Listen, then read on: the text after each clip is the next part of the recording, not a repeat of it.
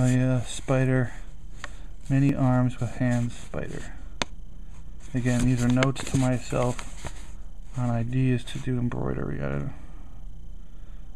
with accompanying drawings.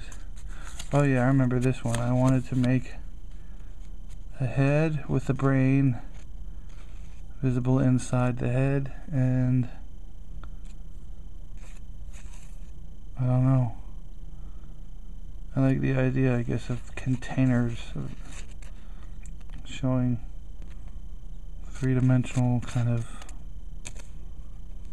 I don't know edges too. I like. I don't. know. Centipede. Never. I still haven't done a centipede. So I think it's a good idea for something to be embroidered. A centipede. Anatomy diagrams. Oh wow! What a surprise. That's already happening. Put all heads in doorways.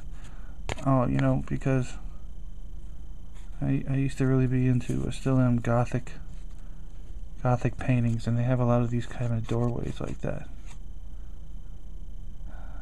And I, I actually I did do one thing that had a head in a doorway like that. Masks, faces, dicks, vaginas, and sex. And with a smile. Wow, what? How revealing. Uh, that did end up in an embroidery. Oh yeah. For some reason I wanted to make this dog and make this pattern inside the dog and it had to be red and for some reason I thought that that was the coolest thing ever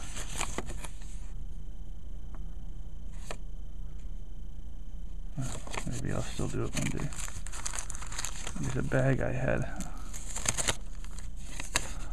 stuff I took out of the uh, oh man I thought I was gonna be able to do this in the 10 minute times man I guess not Stuff I took out of the dictionary, some funky floral. The common bloodroot. Floral thing. Oh. This has been going on three years. I've had this image out of the dictionary. Uh, wow, uh, ancient Greek terracotta doll. I was gonna pretty much copy this whole thing, including all the rendering and shading of the body. Never happened. Not yet, at least. Giving away all these ideas, people. Not very exciting, though, but... Oh, yeah, I was to make this image in red on a black t-shirt. Because this is this image that... Uh, in, um... Uh, at my job, there's some kind of electronic box, circuit breaker kind of box, and it has that thing. But I never made it because I realized that it would just be pointing down to my, you know, pants. Down to my, you know, private part. And everybody would be looking at me like, whoa, what's the red, red hour pointing to your dick for? Or something. So obviously I didn't make that. Oh yeah, there's that thing. Uh, again, at my job, we have this fancy looking glass end table in the display area, which has a weird silver made leg, one leg like that. The rest of it comes out of the wall. The glass goes around it like that. So anyway, it's kind of a cool silver metal kind of thing, which I drew a picture of. Does that accurately describe, describe what it is? Or do you not, does it not make sense? It's, it's a leg of a glass table, except for it's only one leg because the rest of it's attached to the wall. Yeah, that's clear. Okay. And that is it. Oh my goodness. This was long enough to get into two videos, but not very long on the second video. Well, it's good to have references and ideas. This is something that I have nearby.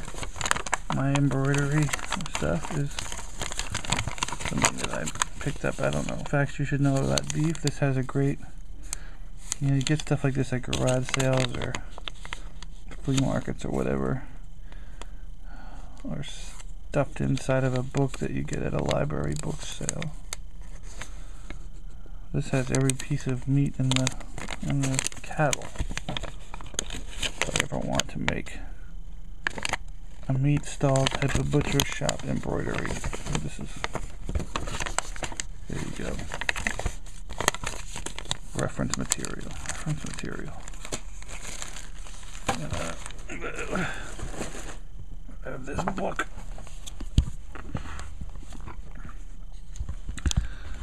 The Art of the Still Life nearby. Has cool stuff in it, skulls and forget it, forget it.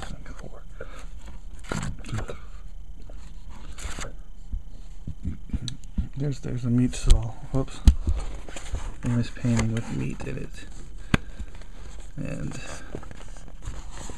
something that I like a lot. Butchered kind of things.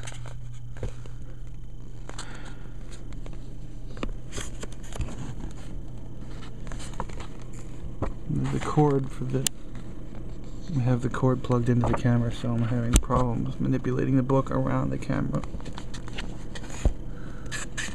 dead fowl well there's a pig a pig's body but anyway more fish and things The Art of the Still Life. This is a great coffee table book I found. Excellent coffee table book. I broke the spine of it. Alright, so it's about. So I got one 10 minute video and about a 5 minute video out of this whole thing. Don't know how enlightening it is. Good to have.